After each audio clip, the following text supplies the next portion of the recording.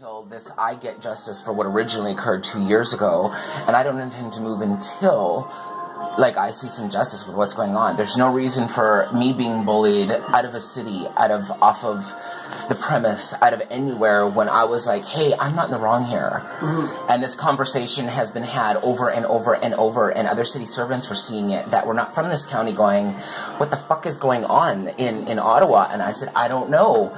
like, I was taken from my home. I should have never been taken from home. The guy that physically assaulted me lived in that apartment right there. He left marks over my body. This girl said I threatened her. I don't have a criminal record. I have no history of violence. Yet I was ripped from my home, couldn't come back. My lawyers quit. No one would stick with anything. And so I'm sitting here going homeless. I couldn't go to shelters. My rapist and his people found me talking to the director and a can of food come flying at my head from the top floor. They wouldn't even give me a room when I got sick. I had to sleep on a radiator in the middle of the room. So yeah, no, there's some people that are very interested in what's going on here. So I'm just like, hey, if anything happens, it's going to happen in the broad of daylight. It's going to happen with everybody knowing, mm-hmm. because this is all my.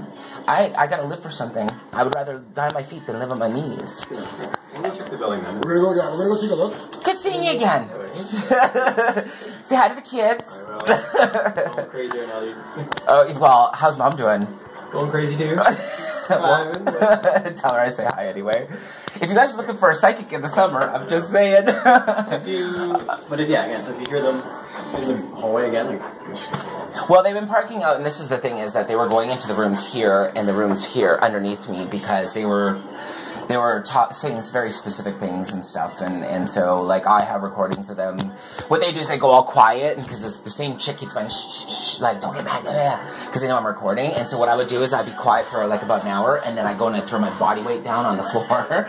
Motherfucker, motherfucker! I'm like, thanks, it's all I needed. Click. like if you're gonna pretend like you're not there, like this is not me losing my mind.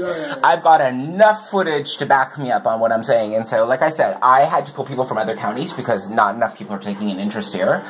I mean, local business owners. The, the guy from the bakery uh, basically came up and patched my door. My landlord's like, I'm not fixing it. I'm not changing the front door key. Like he was really resistant to all of this, and I'm like, well, okay. So there's people here in the community that have my artwork. That they, I've, I've, I've been a volunteer, an advocate, human rights advocate. I've been like, they know I'm a good person. So whatever gets spread, whatever gets told, there's people here that are watching very closely to what's happening because I'm a good person.